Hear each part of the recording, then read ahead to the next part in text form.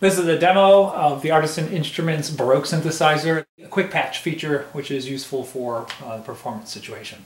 So I'm going to select the first quick patch, press this button in number 7.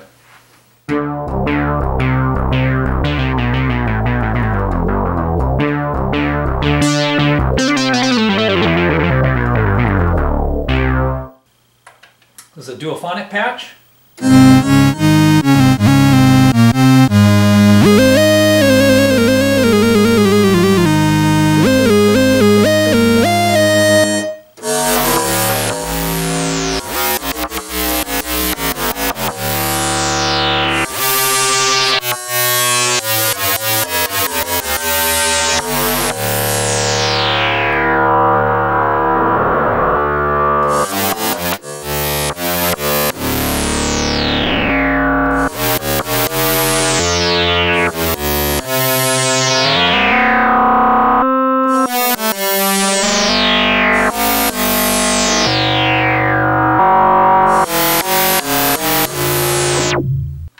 Also use it to make bell sounds. Use a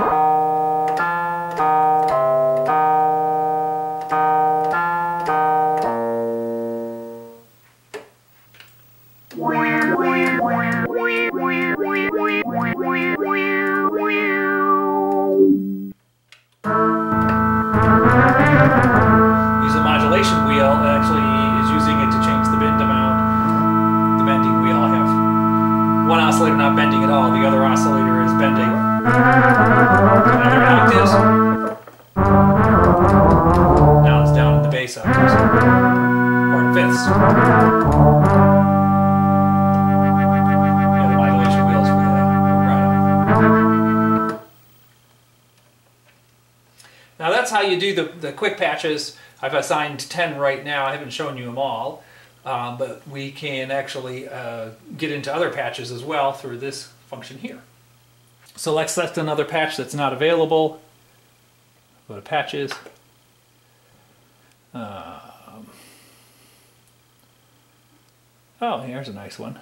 Drawbar hit. If you listen carefully, you can hear the vibrato come in slowly and then increase That's using rate modulation on the LFO and one of the multipliers to change the depth and the rate of the LFO. The second thing you might hear real quick is at the very beginning of the note there's a little snap.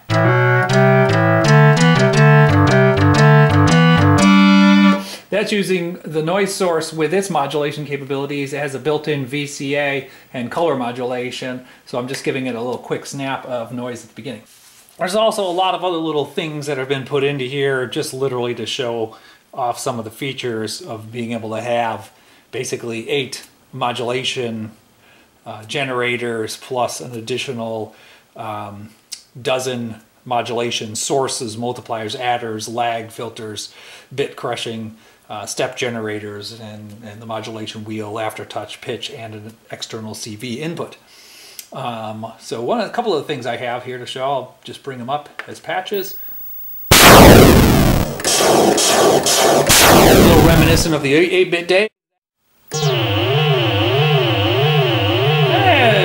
Sounds familiar.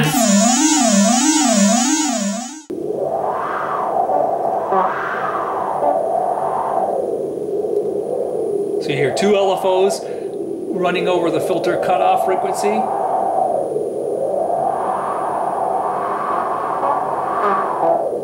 There's a random generator that's jumping into the oscillator. Oscillators have pitch modulation on them. And every once in a while, everything adds up perfectly so you get the little seagull chirp in the background.